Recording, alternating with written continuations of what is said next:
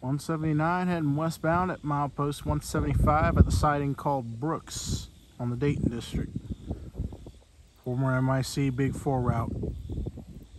Milepost 175. This dude is flying. Like, literally.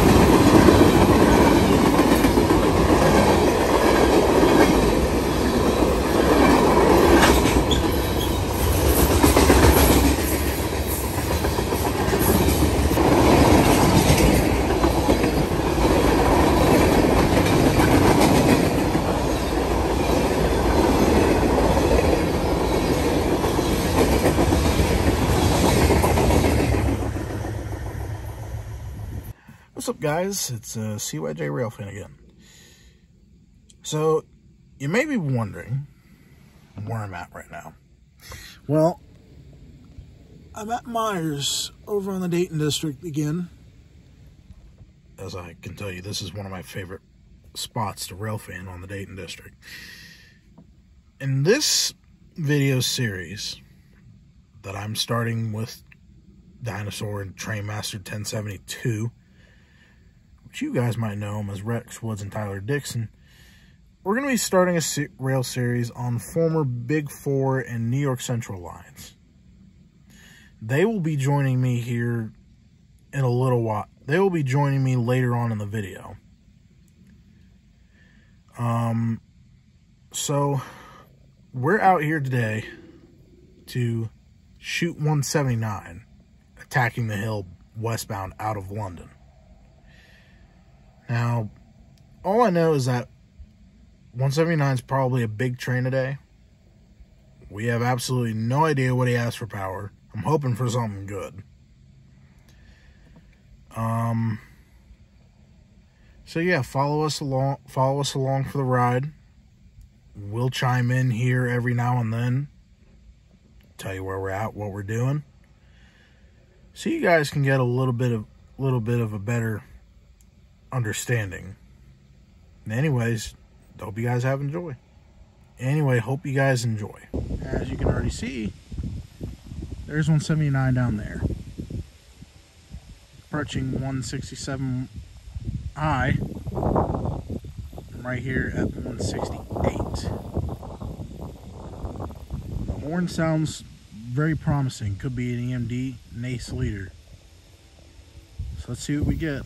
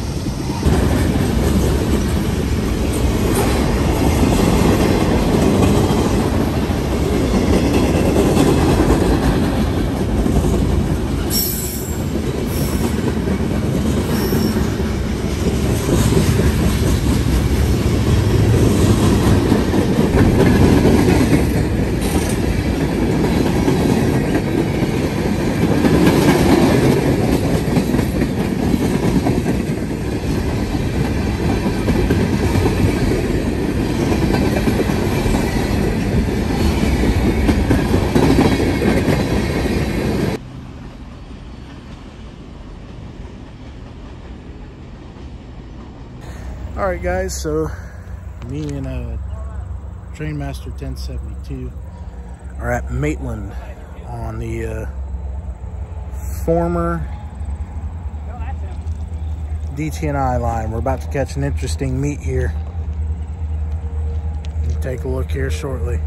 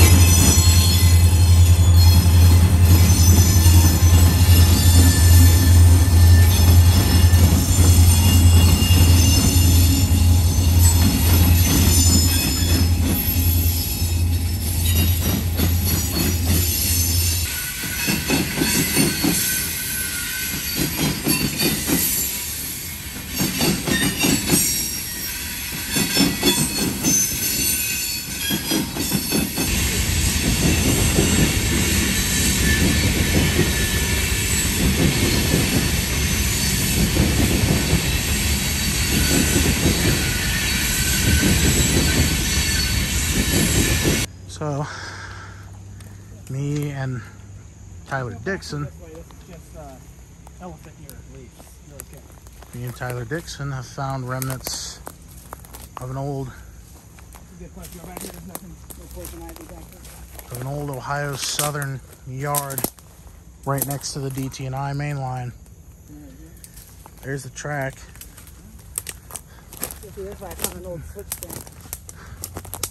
He even found an old, there's, and just for more proof, there's an old switch stand.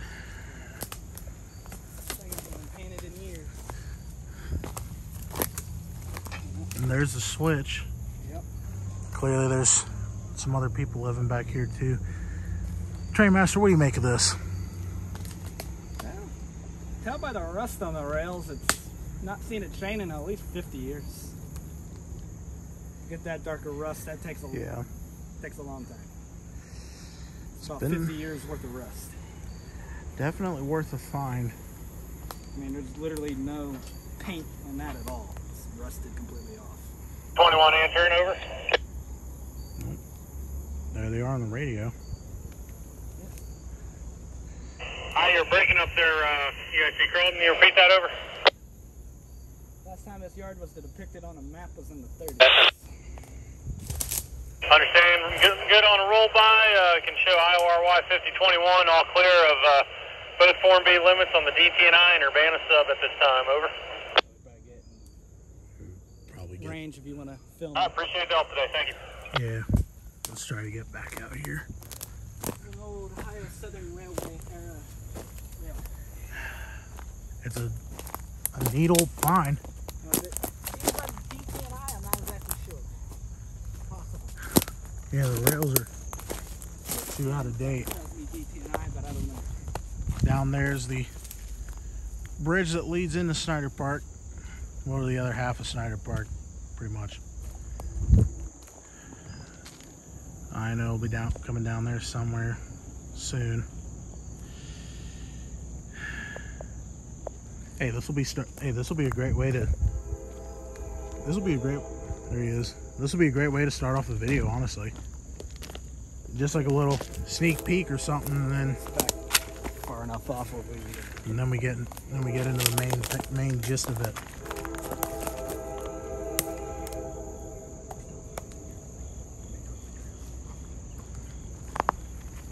I know. Well, actually, I didn't know. Yeah, there he is. On his way back home to Springfield. Let's get a shot of him, I guess.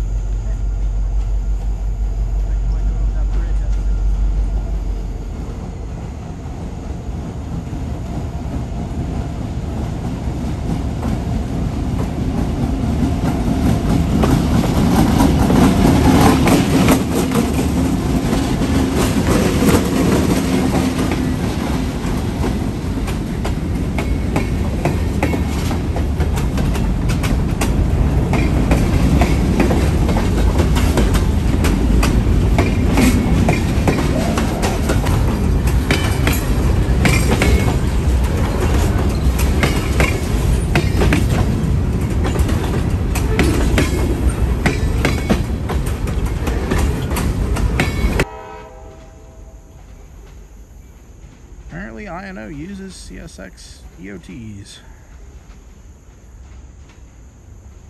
That's apparently become a theme now. There he goes crossing the trestle. As you can see, there are some people living in this old rail yard. Aside from them, we are probably the first people to discover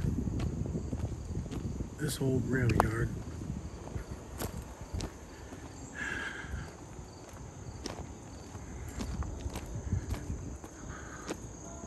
Hmm.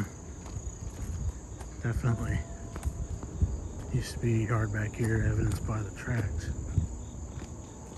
That's always fun.